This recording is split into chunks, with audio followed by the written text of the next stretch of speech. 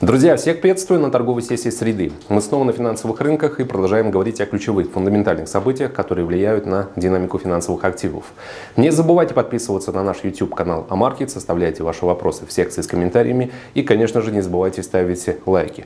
Также снова напоминаю, что в описании к этому ролику вы можете найти ссылку на наш официальный Telegram канал Амаркет с торговыми идеями, в котором каждый день, включая выходные, мы постим дополнительный аналитический контент вам в помощь.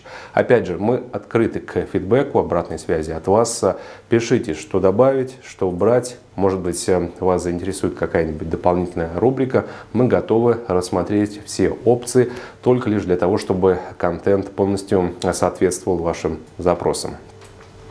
Ну что ж, друзья, текущая торговая сессия. Переоценить ее значимость э, ну, почти невозможно, потому что сегодня вечером будут подведены итоги э, заседания американского регулятора. В 18.00 по GMT мы увидим решение по ключевой процентной ставке.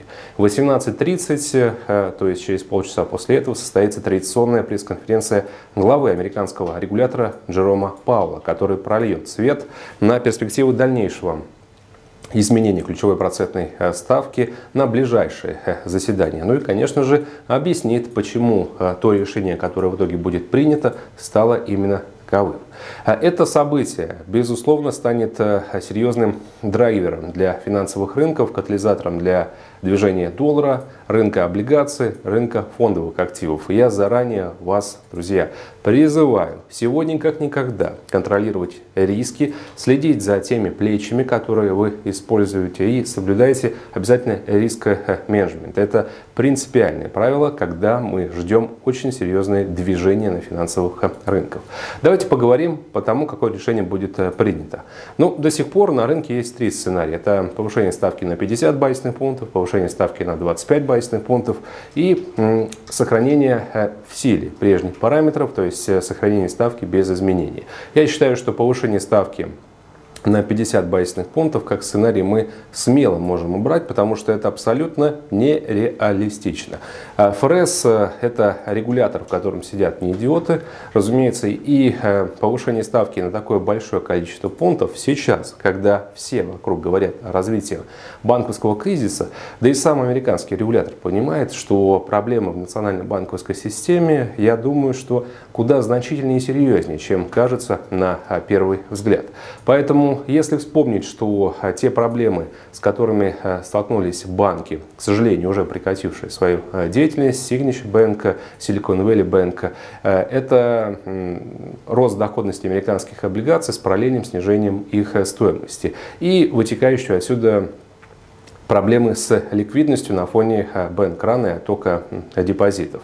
То есть, если ставка, друзья, будет повышена на 50 базисных пунктов, это значит то, что ключевая ставка будет увеличена с текущих 4,75 до 5,25%. Это значит автоматическое возвращение на рынок спекуляции на тему того, что ФРС может дойти даже до 5,5-6%. И это, опять же, ставим еще один знак равно. Рост доходности американских отрежей с 10 лет выше 4%, а бумаг с более коротким периодом погашения, я думаю, что показатели доходности были бы еще более э, значительными. И еще один знак равно – это череда новых банкротств, потому что уверен, то, что мало кредитных учреждений, которые сейчас э, несколько, ну скажем так, э, может быть, заигрались с венчурными проектами, испытывают серьезные проблемы с ликвидностью, смогут выдержать и удовлетворить соответствие показателям достаточности капитала на фоне э, оттока капиталов, э, депозитов, если э, стоимость облигаций, которые находятся на их балансе, будет неуклонно снижаться. Поэтому этот сценарий повышения ставки на 50 базисных пунктов, конечно же, мы с вами убираем. Остается повышение ставки на 25 базисных пунктов. Это, кстати, прям в соответствии с консенсусом ожиданий. Все уверены, что ставку поднимут на 25 базисных пунктов, потому что американскому регулятору нужно напомнить всем, что первоочередной задачей Федрезерва является поддержание стабильности цен и борьба с инфляцией, которая все еще выше. для того, чтобы с ней бороться, повышение процентной ставки остается лучшим инструментом для как раз э, сохранения ценовой э, э, стабильности. Будет ли это решение принято? Скажем, давайте присоединимся к общему рыночному консенсусу и предположим, что да, такой сценарий в конечном счете и будет реализован. Но здесь тоже, друзья, есть риск. То есть, если американский регулятор сейчас просто поднимет процентную ставку, чтобы Э, показать общественности, что проблема с банковским сектором э, не такая уж и э, значительная, это тоже будет подталкивать на определенную линию рассуждений. И в конечном счете даже повышение ставки на 25 базисных пунктов, по мнению многих, все равно подстегнет рост доходности американских облигаций и в конечном счете затронет какой-нибудь второ третий сортный банк, что может вновь заставить зазиять новыми красками вот этот факт нестабильности банковского, американского банковского э, сектора. Ну, при этом ФРС подтвердит свою приверженность э, борьбы с инфляцией, и для кого-то это может э, стать даже каким-то позитивным сигналом. И первый сценарий, который я обозначал, это сценарий, когда ставка остается на прежнем уровне. Но здесь тоже, с одной стороны, хорошее решение, то есть, эм, когда не знаешь, что делать, лучше придерживаться статуса КВО в ожидательной позиции, как говорят многие трейдеры, если спровоцировать на торговую активность. Иногда на рынках э, самое лучшее решение, которое можно принять, это вообще ничего не делать, посидеть на заборе. Э, и для американского регулятора это уместный тоже э, сценарий. Но подводные камни здесь заключаются в том, что если ФРС не повышает ставку вообще даже на 25 базисных пунктов, это значит то, что он автоматически признает, что инфляция это уже не проблема. Инфляция меркнет по сравнению с э, проблемой банковского сектора. И э, ФРС осознает, что даже э, скромное повышение ставки может привести, опять же, к тем самым проблемам с ликвидностью, о которых я говорил, вследствие снижения стоимости облигаций и параллельного повышения их доходности. Какой в итоге сценарий будет наиболее реальным и фактически подтвержденным, нам сегодня покажет время. Я думаю, что, как уже отметил, будем склоняться в пользу сценария повышения ставки на 25 базисных пунктов. И в соответствии с этим я ожидаю, что индекс доллара, который на данный момент котируется чуть ниже 103 пунктов, сможет получить дополнительную поддержку и э, снова преодолеть сопротивление 103 пункта.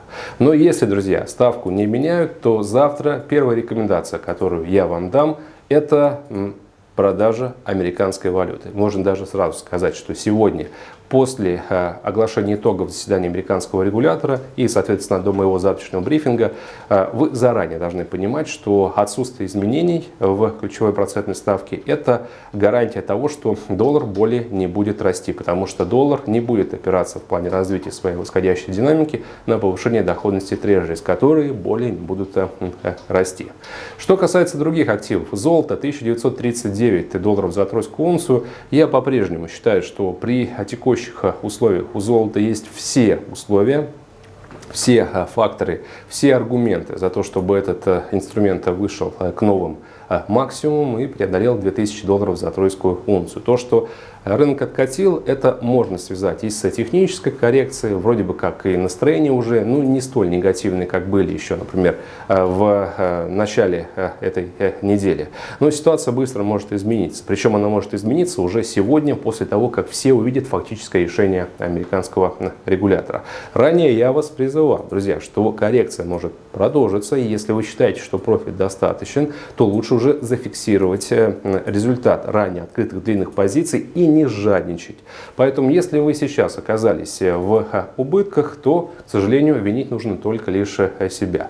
Правильно оценивайте возможности э, собственных депозитов, ожидания, ощущения того, что может произойти с финансовым активом, и правильно работаете с теми вводными, которые поступают сейчас со всех сторон. Европейская валюта против доллара 1.0768, цель 1.08 по-прежнему остается.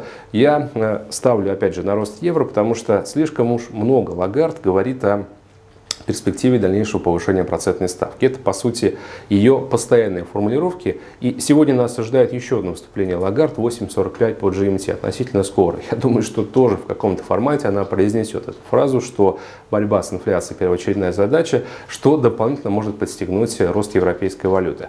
Но выше уровня 1.08, даже после теста этой планки, эту сделку нужно будет закрывать, друзья, уже, и ждать э, итоги заседания американского регулятора. И еще одна валютная пара, за которой мы следим, это доллар-иена. По-прежнему также цель 130 без изменений. Сейчас котировки 132.50. На этом, собственно, все. Большое спасибо за внимание и хорошей торговой сессии. Всем пока.